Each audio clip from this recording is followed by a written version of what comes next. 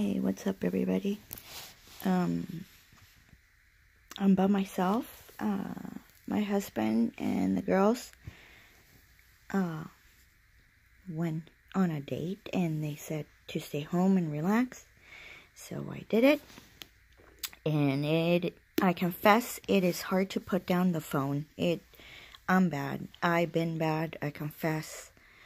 Um, but anyways, I'm gonna try to read uh, this other book because even though I was reading something about uh, the new the Hotel New Hampshire, sorry, uh, I was trying to think of the title um, by John Irving, who's a great great author, but for some reason I like. I mean, it hasn't engaged me.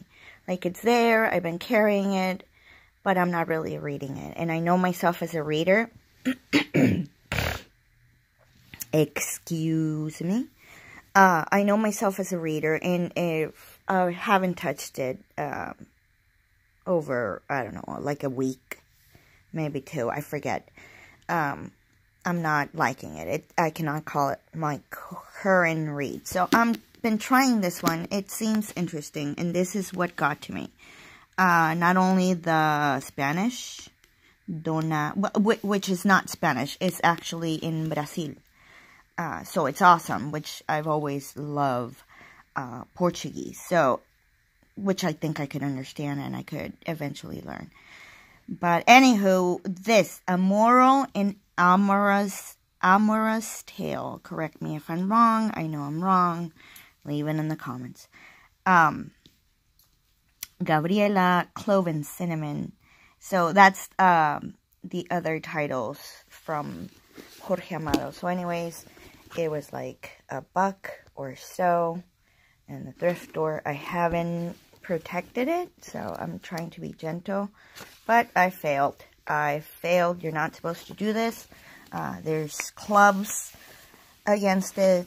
Uh, book lovers everywhere. It's like, come on, why are you doing this? But I confess, again, sometimes I fold the paper. So anyways, I'm going to try to read and clear my nostrils, obviously, um, as you can see, uh, a few pages or a few paragraphs, I guess. Um, excuse my thick Espanol accent. Uh, I do have to prepare my mouth to say certain words, but uh, here we go. Let me see. So it's the tale of this lady that has two husbands. One died uh, during the carnaval, which is carnival, or carnival, sorry. Um, and I already read how he dies. Uh, and then she marries this doctor. And I think if at one point Look, I just noticed that. three ninety five. I think I paid less than that. Uh,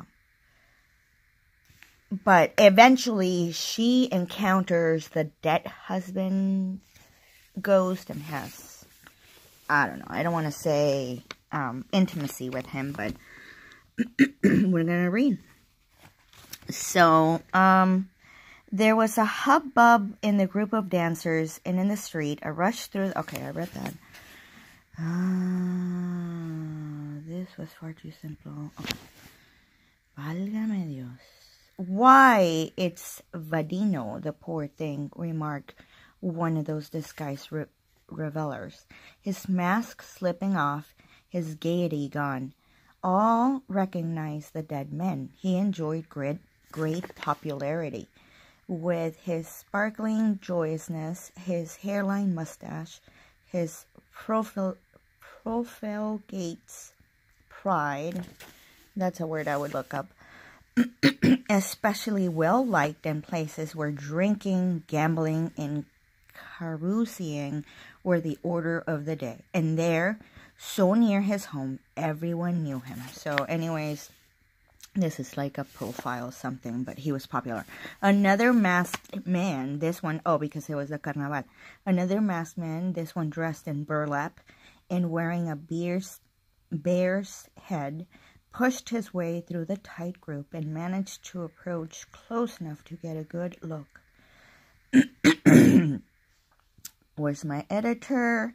He pulled off his mask, revealing a dull full face, with drooping mustache and bald scalp, and murmured, Vadinho, my brother, what have they done to you? What happened to him? What did he die of? People asked one another, and someone answered, Rum. This was far too simple an explanation of such an untimely death. A stooped old woman gazed at him for a long time and remarked, Still so young, why did he have to die so early? There was a crossfire of questions and answers while the doctor laid his ear on Vadinho's breast. his report was definite and extinguished all hope. He was dancing the samba, having a wonderful time, and without a word to anyone, he fell over completely dead, explained one of his four friends, sobered up as though by magic and deeply touched. He stood there looking somewhat foolish in his drag, his cheeks red with rouge, roach, his eyes deeply shadowed with burned cork. I'm so sorry for this. And I'll stop, I guess, because it is over five minutes. But, oh my goodness, look at this word. There was not a fight.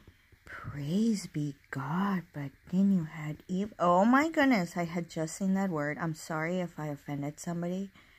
Um, it is not a word I use in my vocabulary, but I won't give up on this book. Um,